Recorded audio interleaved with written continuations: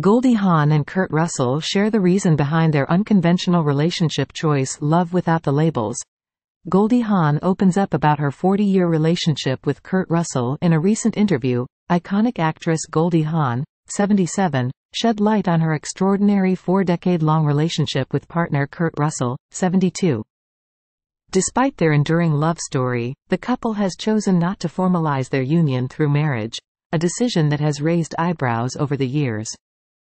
Hawn discussed the underlying reasons for their unconventional choice during a conversation with CNN's Chris Wallace. When asked about their decision to never marry, Hawn candidly replied, Why should we be? Isn't that a better question? She emphasized that both she and Russell have witnessed the fallout from failed marriages, leading them to question the necessity of traditional wedlock. Hawn had previously been married to actor Gus Trikonis from 1969 to 1976, followed by a marriage to musician Bill Hudson from 1976 to 1982. Hawn expressed concerns about the often complicated and costly nature of divorce, explaining, when it doesn't work out, it ends up to be big business. Somebody actually has to take a look and say, how many divorces actually are fun? How many divorces actually don't cost money? How many divorces actually make you hate the person more than you did before? How many divorces have hurt children?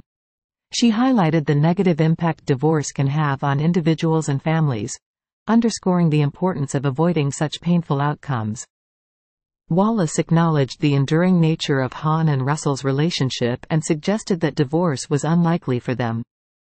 Hawn responded by expressing her appreciation for the freedom to make daily decisions about their commitment. She shared, I like the idea that I can wake up in the morning and make decisions every day if I want to be here. Relationships are hard. They're not always easy. I think ultimately staying independent with independent thinking is important, so you can hold on to yourself, and you can actually have that feeling. Despite not exchanging vows, Hawn and Russell have created a loving family. In 1986, they welcomed their son, Wyatt Russell, and Hawn is also the proud mother of actors Kate Hudson and Oliver Hudson, who affectionately refer to Russell as Pa. Prior to his relationship with Hawn, Russell was married to actress Season Hubley from 1979 to 1983, with whom he shares a son named Boston.